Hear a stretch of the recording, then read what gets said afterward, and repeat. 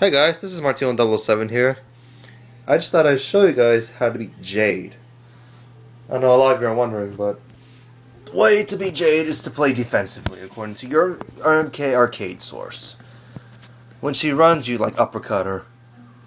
Simple as that, huh? But I'll show you my way with Noob Saibot. So here we go. Or I can do some sweep kicks. And then do the fireball there you go. That, that was down for uh, low punch. The cloth farm was down for a low punch. So, we'll try this again.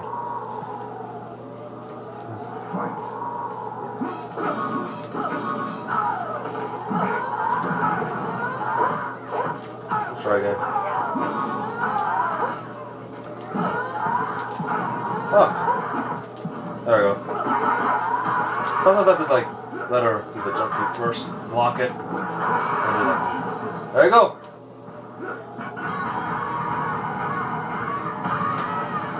Noob Saibot wins. Fatality.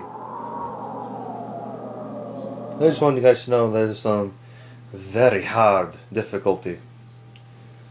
That's all I want you guys to know that.